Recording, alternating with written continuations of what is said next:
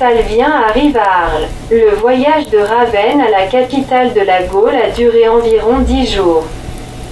Salvien rencontre d'abord Marc qui lui trouve un appartement et le présente aux officiers et fonctionnaires utiles pour sa mission. Certains d'entre eux sont ses anciens camarades qui ont servi avec lui sous le commandement de Constance. Quelques jours après, Marc le présente à Essius qui rencontre l'officier de liaison de la régente assez gentiment. C'est très bien que ce soit vous qui soyez chargé de cette mission. Maintenant, après votre voyage en Eni, vous comprenez mieux les guerriers barbares. Le palais impérial est rempli de jeunes courtisans qui se prennent pour des officiers et qui ne sont absolument pas capables de comprendre toute la complexité de la situation. Avez-vous visité la Germanie? Non, je n'ai rencontré les Goths que sur les champs de bataille et chez les Huns.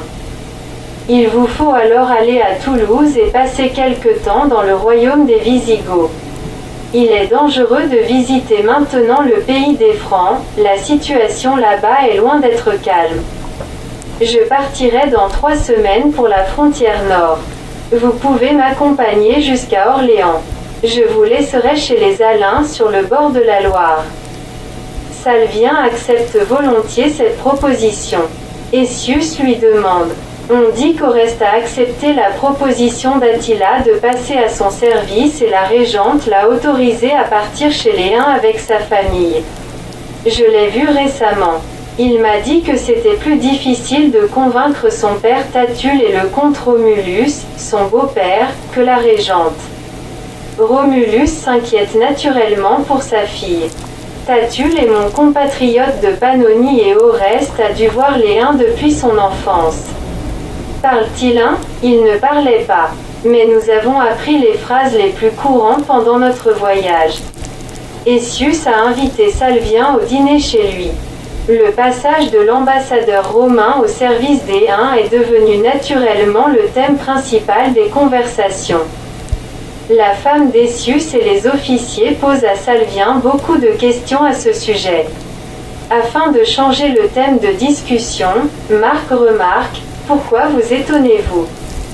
Quand tous les fonctionnaires et tous les officiers de l'Empire chinois sont passés au service des Huns, stupéfaits, les gens s'arrêtent de parler, on se regarde.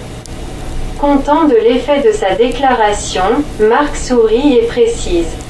Je parle de la fondation en Chine de la dynastie impériale des Taougast ou Tabgach qui sont en parenté avec les Huns que nous connaissons. Litorius, l'officier d'Essius le plus gradé, remarque.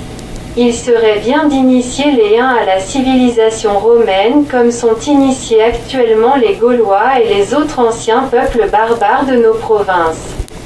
Posthume, un autre officier. Fronce le sourcil, Attention, je ne considère pas mes ancêtres comme des barbares. Conciliant, Litorius s'excuse et dit J'ai aussi des Gaulois parmi mes ancêtres. Cela ne m'empêche pas de reconnaître que les Gaulois n'avaient pas d'écriture, d'architecture élaborée et n'avaient pas une organisation étatique digne de ce nom. Posthume réplique vivement. Les Grecs considéraient les Romains comme un peuple barbare. Ce sont eux qui ont initié les Romains à l'écriture et à l'architecture. Les Gaulois ont appris aux Romains, par exemple, à fabriquer des tonneaux qui sont plus commodes et plus solides que les amphores grecques et romaines. Avitu, un officier gaulois très érudit, ajoute afin de détendre l'atmosphère. Pline écrit que les ambassadeurs de Carthage, qui ont été reçus dans plusieurs nobles familles romaines, s'étonnaient beaucoup de voir partout le même service de vaisselle en argent. En fait, toutes ces nobles familles se prêtaient un seul service en argent pour les grandes réceptions. Tout le monde rit, les mains se dirigent vers les coupes en or. Décoré par le célèbre émail gaulois et rempli des meilleurs vins narbonnais. Essius remarque, à cette époque, comme Attila me l'expliquait il y a presque 20 ans, le premier empire a atteint le sommet de sa puissance et de sa grandeur. La noblesse portait les plus belles soies chinoises. buvaient et mangeaient dans des vaisselles d'or incrustées de pierres précieuses et semi-précieuses. Les uns avaient leur écriture et leurs fonctionnaires faisaient chaque année le recensement de la population pour des buts administratifs. Ils ont des traditions impériales plus anciennes que nous.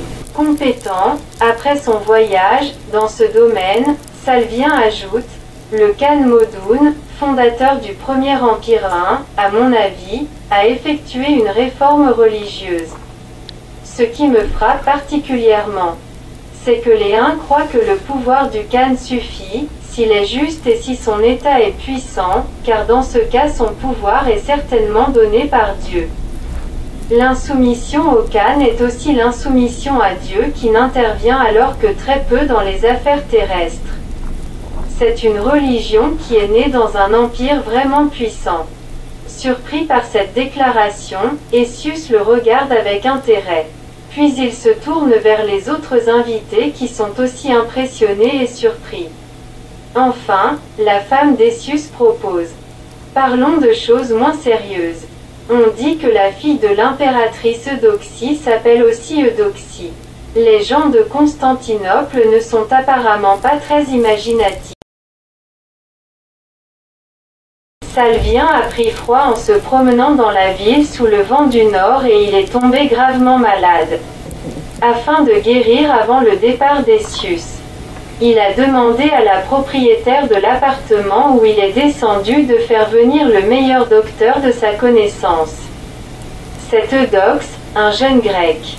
Après quelques visites du docteur, Salvien se sent mieux et il commence à parler de différents sujets. L'officier apprécie que Dox soit bien éduqué, éloquent et sincère. Le docteur aime la droiture soldatesque de son patient et s'intéresse au récit de son voyage en Eni. Je ne savais pas qu'Attila parle et lit le grec et qu'il a dans sa suite un grec savant. Vous dites que l'ambassadeur de Rome est passé au service des Huns.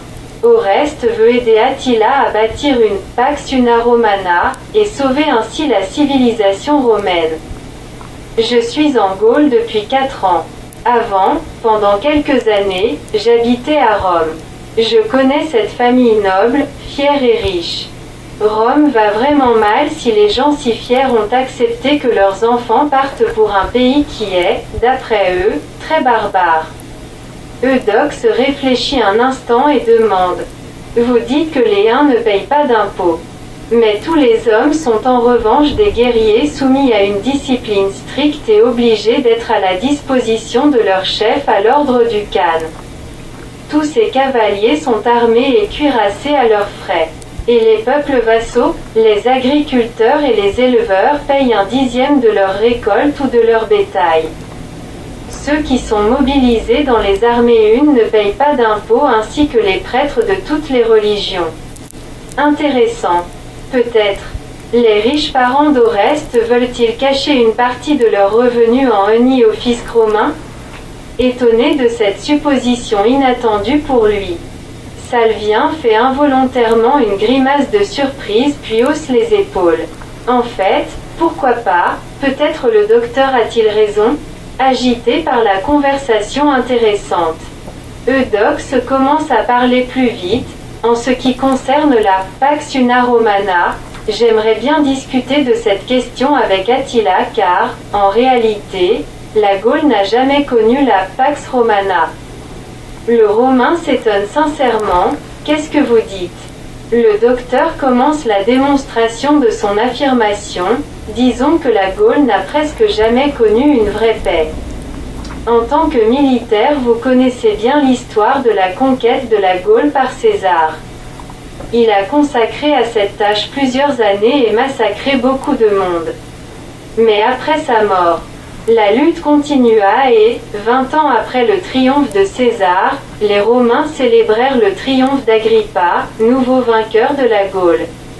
Le pays semblait pacifié apparaissent de nouveaux Gaulois qui obtiennent la citoyenneté romaine et occupent des postes importants. Mais 46 ans après, les officiers gaulois de l'armée romaine et certaines tribus organisent une insurrection. Passe encore environ 40 ans et le gouverneur Vindex, un nouveau Gaulois, dirige une nouvelle insurrection qui se transforme en guerre civile, longue et sanglante. Plus de 400 000 guerriers luttent les uns contre les autres à cette époque en Gaule. Ensuite, c'est la proclamation du premier empire gaulois. C'est vrai que la Gaule connaît alors environ un siècle de paix. L'empereur Trajan, un Espagnol, qui est donc un ressortissant d'une province, réorganise les relations entre le centre impérial et les provinces. C'est la paix, mais pas Pax Romana, c'est Pax Gallo-Romana. Cette période se termine par une nouvelle série de guerres civiles et par la proclamation du Deuxième Empire gaulois. L'empereur Aurélien convainc l'empereur gaulois Tétricus de se rendre. La reddition gauloise est digne et le pays retourne dans le sein de l'Empire romain. Mais quelques années avant cet événement, commence le mouvement des Bagaudes, paysans insurgés, qui continue jusqu'à présent pratiquement sans interruption pendant deux siècles. Vous ne pouvez évidemment pas me dire que c'est la Pax Romana qui règne aujourd'hui en Gaule. Embarrassé, Salvien se gratte la nuque. Il se souvient bien de Constantin et Maxime, les deux derniers, empereurs de la Gaule. Mais on lui suggérait toujours que Rome a apporté la civilisation et l'ordre en Gaule.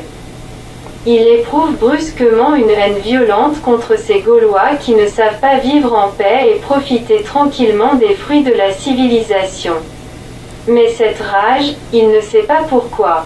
Passe vite. Quand Eudoxe vient de nouveau voir son patient, l'officier est si bien rétabli qu'il est prêt à une longue discussion.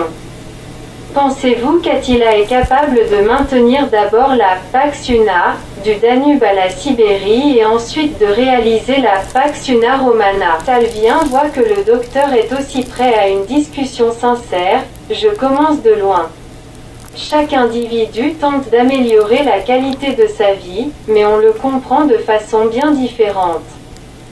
Chacun a ses propres critères afin d'évaluer sa qualité de la vie, par exemple. Eudoxe plie un doigt de sa main gauche, l'état de la santé.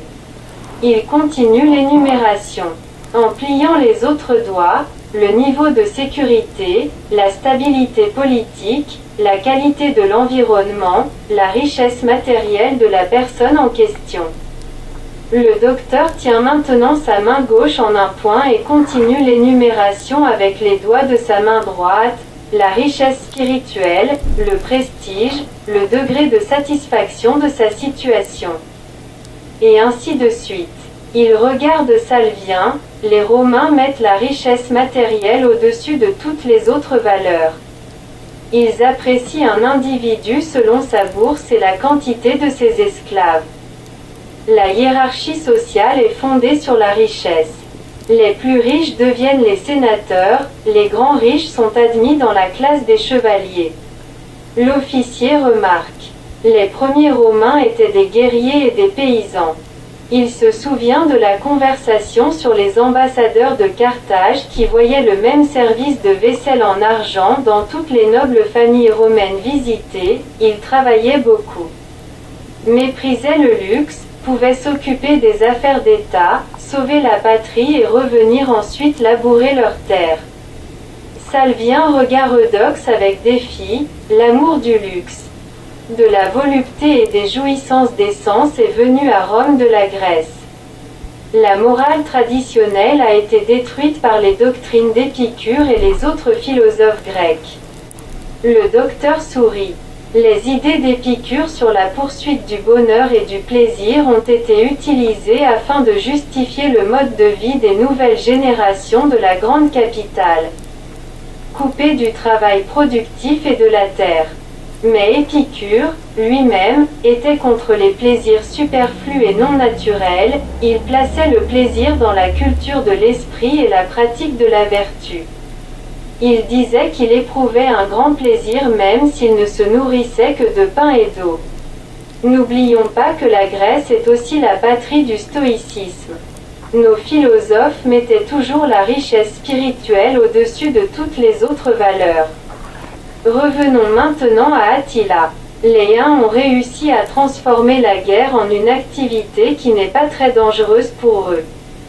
La majorité des guerriers harcèlent leurs ennemis avec des tirs à l'arc et évitent le contact direct. Les chevaliers, spécialistes de la bataille rapprochée, sont bien cuirassés et ne luttent qu'avec un adversaire déjà fatigué et déséquilibré. Les uns sont les enfants de la nature, ils respirent l'air frais des steppes et des montagnes. Tandis que la majorité des Romains sont entassés dans des villes polluées, la plupart dans des immeubles à plusieurs étages. Entourés de tous côtés par les appartements voisins jusqu'à avoir des difficultés de respiration. Le prestige chez les Huns est fondé sur l'honneur et le courage. Par conséquent, ils n'ont besoin de la richesse matérielle que pour avoir de beaux vêtements, des montures, des armures et des armes. Vous dites que leur hiérarchie sociale est fondée sur les compétences. Les princes sont nombreux, seulement les plus doués sont sélectionnés par les rois comme candidats à la succession du pouvoir. Ainsi Attila a été choisi par le roi Horos qui lui a donné une éducation soignée, traditionnelle et gréco-romaine. Le jeune prince a montré ensuite, par ses actions envers toutes les tribus, ses capacités à gouverner et ainsi confirmer ses droits à la succession et au pouvoir.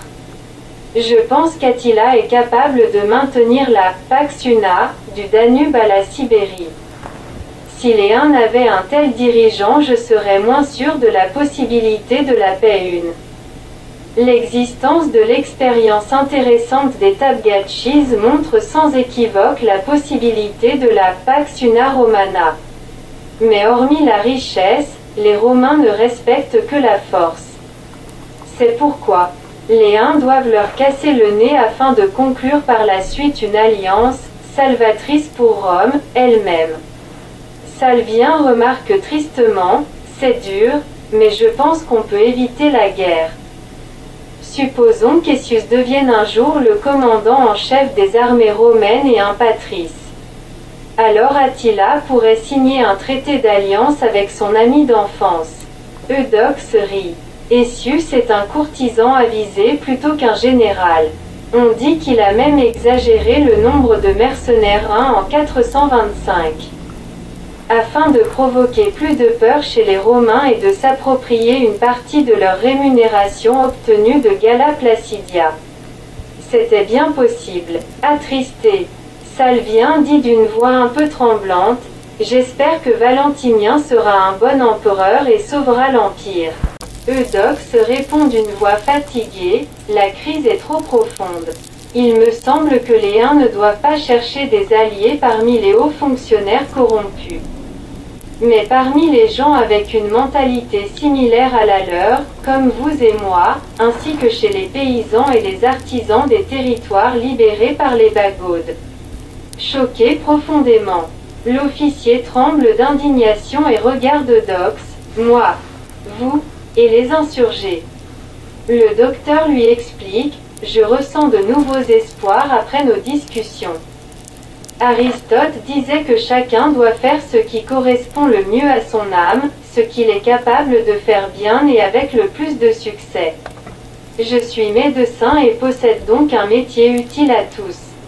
Les paysans d'une partie importante de la Gaule ont cessé de payer des impôts injustes et l'administration romaine les considère comme des insurgés.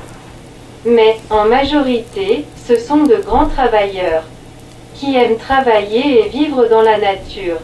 Je me sens aussi plus à l'aise avec eux. Beaucoup d'entre eux sont éleveurs comme les uns. Ils sont obligés maintenant de consacrer beaucoup d'énergie, de moyens et de temps à leur défense. Ils seraient prêts à payer des impôts justes, par exemple un dixième de leurs revenus en contrepartie de garanties de sécurité et d'un ordre équitable. Vous êtes un guerrier professionnel et comprenez bien que seulement des détachements de cavalerie bien entraînés peuvent réagir rapidement et avec succès aux dangers sérieux. Garantir la sécurité de la population et garder la paix. Les infanteries romaines et germaniques pourraient garder les forteresses frontalières et coordonner leurs actions avec la cavalerie en cas d'agression. on pourrait appliquer certaines idées politiques d'Aristote. Peut-être, moi aussi, je rencontrerai un jour Attila. Mais, dans les années à venir, j'envisage de voyager beaucoup en Gaule. D'étudier la vie de toutes les couches de la population, et même habiter parmi les paysans insurgés. Je veux réfléchir et agir pour qu'une anarchie dangereuse ne s'installe sur les ruines de l'Empire romain. Essius et sa suite prennent une galère rapide pour remonter le Rhône. Les voyageurs s'installent autour d'une table mise sous une tente à l'arrière du bateau. Il fait assez froid. Le ciel est gris et il pleut de temps en temps. On leur apporte des boissons chaudes, des jeux. Les gens deviennent plus gais. Essius commence une partie de jeu à douze lignes avec Litorius. Marc s'adresse à Salvien, vous qui fréquentez le palais impérial. Étonné, Salvien le regarde. Marc rectifie, je ne suis jamais allé là-bas tandis que vous habitiez longtemps Ravenne. Vous êtes chargé par la régente d'une mission. Salvien ment, je n'ai jamais discuté avec elle. Puis, il ajoute avec fierté, mais j'ai servi sous les ordres de son mari Constance. Marc s'agite. On dit que Gala Placidia est une belle femme, souvent passionnée et contradictoire. Rappelons que Constance était vainqueur du roi Goataolf, son premier mari. Maintenant elle soupirerait après le comte Boniface qui a failli tuer ce même Ataolf en défendant Marseille contre les Goths. Salvien fait une mine étonnée, mais Boniface est en Afrique. Essius lève sa tête du plateau de jeu, on m'a informé que Boniface mène des négociations avec le roi des Vandales, installé en Espagne. La conversation sur les femmes continue. Posthume sourit et regarde Marc et Salvien. J'ai entendu que les uns sont très hospitaliers et vont jusqu'à donner aux voyageurs des jeunes femmes, surtout en hiver afin qu'elle les soulage par leur chaleur. Tout le monde rit. Agacé, Salvien répond d'une voix mécontente, Je n'ai pas été gelé en honey et on ne me les proposait pas. Ils n'ont pas de prostituées comme chez nous. Marc précise, cela irait à l'encontre des lois de Modun Khan qui punissent sévèrement l'adultère. C'est vrai qu'on raconte qu'il existe au nord de la Sibérie des tribus qui ne parlent pas un et qui pratiqueraient cette coutume. Mais je n'en suis pas sûr. Salvien ajoute, tous les crimes graves, y compris, brandir une arme sans ordre des chefs, sont passibles chez les uns de peine de mort. Le vol est puni par la confiscation de tous les biens et par la perte de tous les droits. Pour les délits moins graves, ils incisent profondément, avec des lames de fer, les joues des criminels. Le procès ne dure jamais plus de dix jours. Étonné, Litorius arrête un instant de jouer et s'exclame. Moi, je pensais que les incisions sur les joues de certains mercenaires reins étaient des signes de leur vertu guerrière. Je les prenais pour mes meilleurs soldats.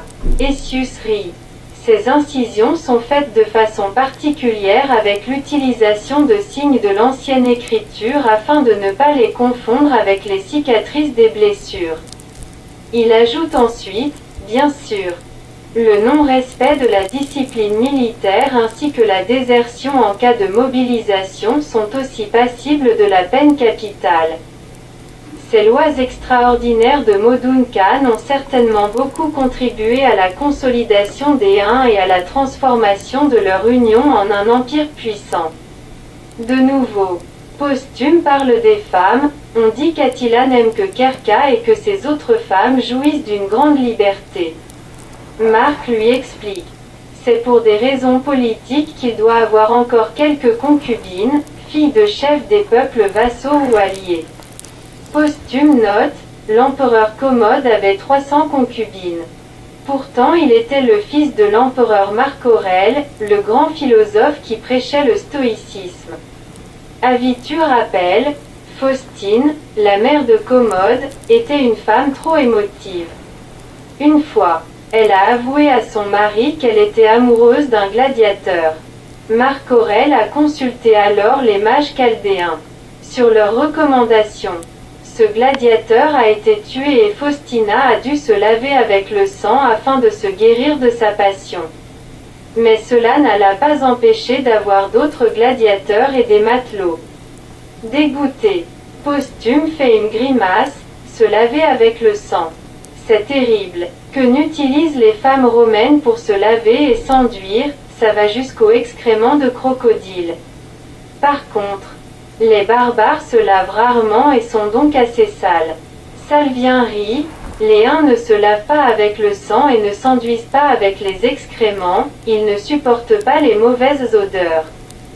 Ceux, qui n'appartiennent pas à la noblesse, lavent leur corps assez rarement mais ils ont toujours leur visage propre. Avis-tu remarques, les Romains, eux aussi, se lavaient rarement. Les premiers bains ont été créés cinq siècles après la fondation de Rome. On s'est habitué alors à aller au bain une fois tous les huit jours. Après la conquête de la Grèce et de l'Orient, sont arrivés les parfums et les produits cosmétiques. Alors beaucoup ont senti la nécessité d'aller au bain chaque jour. La construction par les empereurs de thermes splendides a renforcé ces habitudes. Aujourd'hui, les Romains pensent que c'était comme ça depuis toujours. Une mélancolie assombrit le regard de Posthume, c'est pourquoi nous avons maintenant si peu de soldats robustes et vaillants qui ne sont pas ramollis par la vie des villes, qui n'ont pas peur des difficultés et qui ne crient pas à la moindre blessure. Litorius ajoute, quand l'empereur Julien, il y a 60 ans, faisait des efforts pour rétablir les mœurs traditionnelles romaines, il a commencé par le licenciement de 10 000 barbiers de palais. Il a publié une lettre où il se vantait qu'il se lavait rarement. Il était surtout fier de sa barbe, touffue et habité qui ne connaissait pas le rasoir. En ce qui concerne, devenu soudain agressif, Avitu l'interrompt à demi-phrase. Julien était un païen incorrigible comme toi. Pendant quelques instants tout le monde reste muet. Puis un officier, afin de détendre l'atmosphère et satisfaire sa curiosité, demande, on dit que les femmes unes, en guise de protection, aplatissent les nez des nouveau-nés avec leurs doigts afin que, lorsque les garçons deviendront des guerriers, leurs nez ne sortent pas beaucoup sous leur casque. C'est pourquoi, les uns ont des nez plus petits que nous. Il se tait en voyant l'ironie dans les yeux d'Essius, de Marc et de Salvien.